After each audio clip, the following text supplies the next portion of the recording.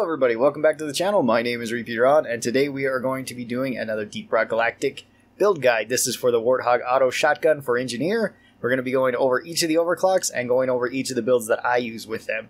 These may not be the most well optimized builds, and I find that this weapon is a little bit weird to optimize anyway, since with no build can you actually one shot body shot a grunt. I usually just pick whatever I feel the most comfortable with. Uh, first up is Stunner. So Stunner makes it so you have a higher chance of stunning enemies, as well as if any enemy is stunned, whether you did it or somebody else did it, then you deal 30% increased damage to that enemy.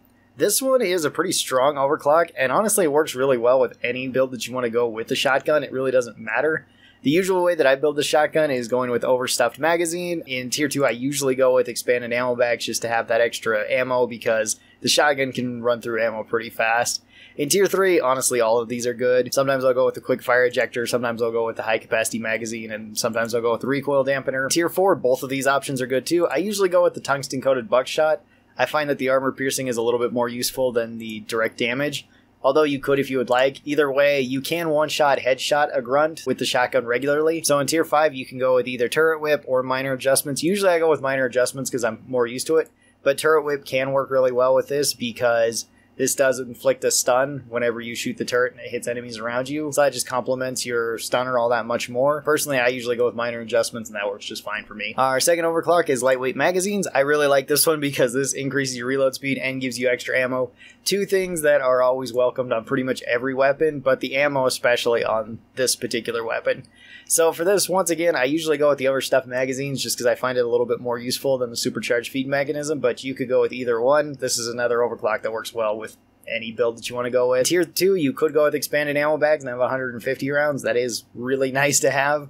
You could go with loaded shells if you want a bit more damage per second and you want a bit more consistent kills on things like grunts because this will be able to one shot headshot them a little bit easier. Same with if you want choke. Choke works really well too. And tier three, um, I usually go with quick fire ejector with this one just so that I can have that 1.1 second reload. That is really nice. It makes the gun feel so much more snappy. Tier 4, once again, I usually go with tungsten coated buckshot for the same reason. And then tier 5, I usually go with minor adjustments just so that I can shoot faster. Moving on to our one balanced overclock, which is probably my favorite overclock for the Warthog shotgun, and that is the magnetic pellet alignment. This one makes it so you have 50% reduced spread, which is really good. It makes it so you can effectively use the shotgun at longer ranges than you really uh, are used to, unless you're taking choke a lot. And this is pretty much choke added onto your gun. You also get bonus weak spot damage, which is really nice. You can kill things like acid spitters, web spitters very easily with the shotgun. You could also kill menaces much easier than you normally would. So that's always a great thing. And this only comes with the downside of rate of fire. With this one, I always go with minor adjustments, which pretty much negates the rate of fire. So at that point, it's just a bonus, and then you can build it however you like. Usually I build it with, once again, the overcharged magazine, or you could go a supercharged feed mechanism if you find that rate of fire is just too slow for you. Uh, in tier 2, I go with more ammo. More ammo is really good with this. In tier 3, uh, you could go with any of these. Once again, you could go with recoil reduction, you could go with the quick fire ejector, you could go with the high capacity magazine. All of them are fine choices. And then in tier four, once again, I usually go with the tungsten coated buckshots, but uh, bigger pellets is also really good here because it's just easier to hit enemies at a longer range. So doing more damage with those pellets is always going to be a good thing. Moving on to our unstable overclocks, we have cycle overload. This gives you more damage, more rate of fire, but a longer reload time and more spread.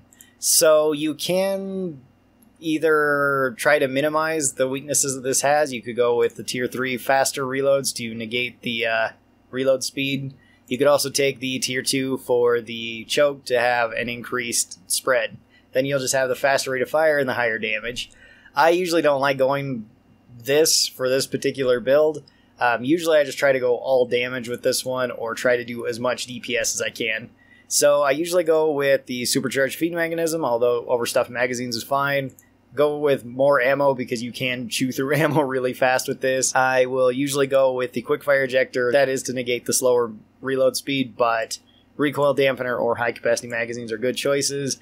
Tier 4, tungsten coated buckshot, and then Tier 5, minor adjustments. This just gives me the highest rate of fire that I can. And with the faster reloads, I can empty out all six rounds really quick, but you can shred through enemies fairly fast because of how much damage per second you can do. And then our last overclock is mini shells.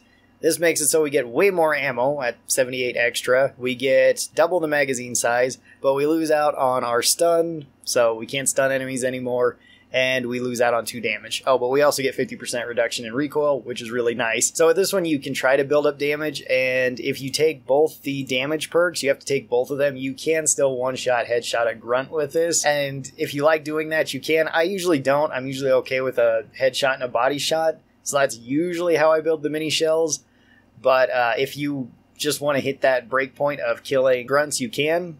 And the way that I would build it then is just going with more magazine, the larger shells, whatever you want for tier three. Um, probably like larger magazine again for me. Minor adjustments. This just gives me a good rate of fire and a large magazine of 16 and then you can one shot headshot grunts. And I've used this build and I like it pretty well. The other build that I really like using with this one is going with overstuffed magazine, expanded ammo bags.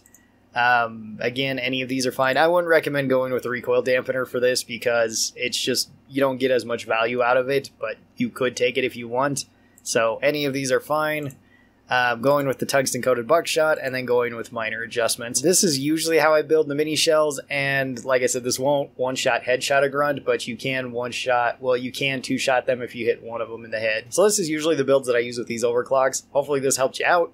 Thank you guys so very much for watching this. I really do appreciate it. If you guys uh, aren't subscribed, be sure that you get subscribed. That way you get notifications when I post these videos. Special thanks to the supporters of the channel. If you guys would like to be part of this list, be sure to join it down in the links below uh, both to Patreon and to YouTube. Thank you guys all for doing that. I really do appreciate it. If you'd like to see my other Deep Rock Galactic videos, be sure to click over here. That'll take you to a playlist full of them. Thanks again, and bye.